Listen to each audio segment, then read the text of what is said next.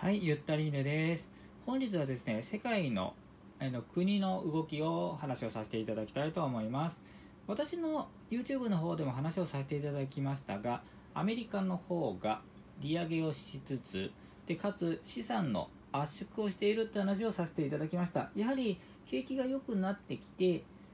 えー、と利上げをしてインフレを止めようとしている。で資産もいっぱい購入しまくっていたんでそれを売却して、まあ、資産の圧縮をしようとしていたっていう話をさせていただいていたんですがどうもアメリカの動き FRB の発表によるとどうもそれを止めようかっていう話になっております。やはり現状から考えるとあまりいい状況ではない好ましい状況になっていないというアメリカは判断をしたと思われます。それに合わせてでしょうか？中国側からも発表がございました。中国もやはり景気が悪いという判断をしているようでリーマンショック級の話が来たら4兆元の対策を打つという話をしております。この金額実はどのくらいかっていうと56兆円っていう金額になるんですが以前サブプライムローンでアメリカが大変だった時も中国がなんであれほど早めに日本より早く復活できたかっていうと大量にお金をすりインフラ整備をしまくったからあの成功しております。アメリカもそれと同時で大量にお金を吸ってやりました。日本も吸ったことは吸ったんですけど少ししか吸らなかったね。結局なぜか一番遠いところにいた日本の方が成長が遅かったっていうオチになっております。今回はアメリカと中国がアメリカに関しては利上げ資産圧縮をちょっと止めようかって話が上がっている。中国に関してはまたすごいことになったら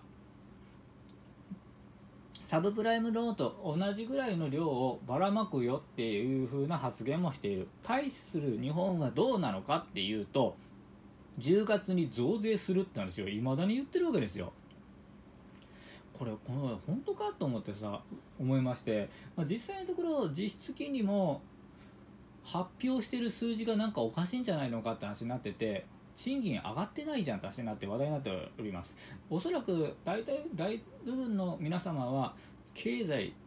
景気良くなってるって実感していないと思います。私のように株式を扱っていて投資をしている人間からしてみれば企業の業績が実際上がってますんで実感は多少できるわけですがほとんどの方は多分実感はできていない状況であると考えられます。その点からもその状況において増税をすると言ってるわけですから私からしてみれば悪くなるに決まってるって話で本気でやろうとしているのが疑わしいぐらいでございます。まあ私はしないであろうと予測はしているんですがどうも強引に進みそうな雰囲気を醸し出しております。その点については何でこんなに忠実なんだろうと思ってしまうんですが景気間違いなく悪くなるだろうと私は考えてます。今良くないのにさらに悪くなる。ましてやキャッシュレスでなん還元するとかいう話をしてて軽減税率やって税率が変わるって話になってるわけですよ。もうおかしくなるに決まってる状況なわけですよ。でまた消費が悪くなるからまた揉めるわけじゃないですか。店員大変なことになるだろうなと思います。このままどうなるのかって心配で仕方ないんですが皆様はどのように考えますか？本日は世界の動きについてお話をしてみました。ありがとうございました。それではまた。